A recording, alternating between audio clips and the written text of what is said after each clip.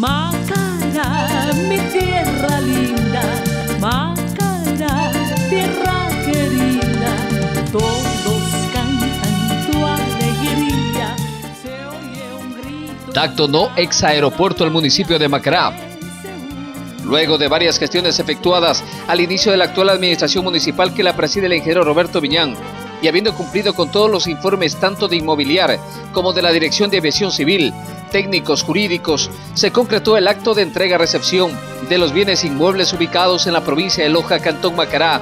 del aeropuerto Dr. José María Velasco Ibarra, entre la Dirección de Aviación Civil y el Gobierno Municipal del Cantón Macará. Una vez entregado este inmueble, y conforme ya lo anunció el alcalde de Macará, el mismo será utilizado para la construcción de un parque temático, el mismo que aportará con distintos servicios para el esparcimiento, para el deporte, para la recreación de la familia bacareña y los turistas que nos visiten este cantón, cuyos estudios ya se los está trabajando por parte del municipio para luego buscar su respectivo financiamiento, con apoyo que ya fue ofrecido públicamente en su última visita a Macará por parte del presidente de la República Economista Rafael Correa.